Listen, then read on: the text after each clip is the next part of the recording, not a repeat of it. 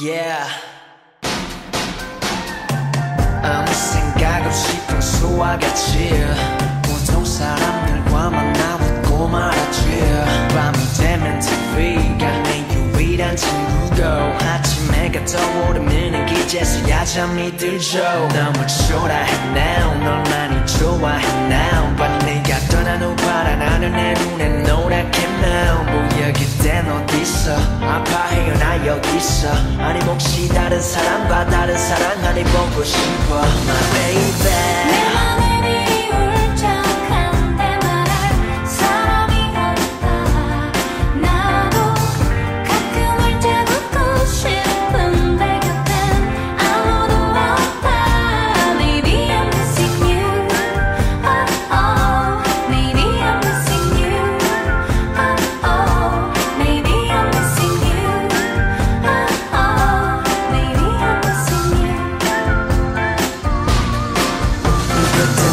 그랬지. 우리 사이 투명하고 깨끗했지.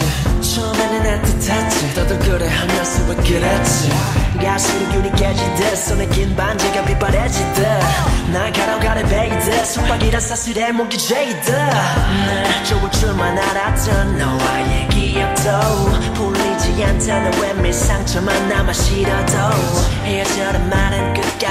참았어야만 했는데 싸우고 다투던 그때가 지금보다 낫을 텐데 내 맘에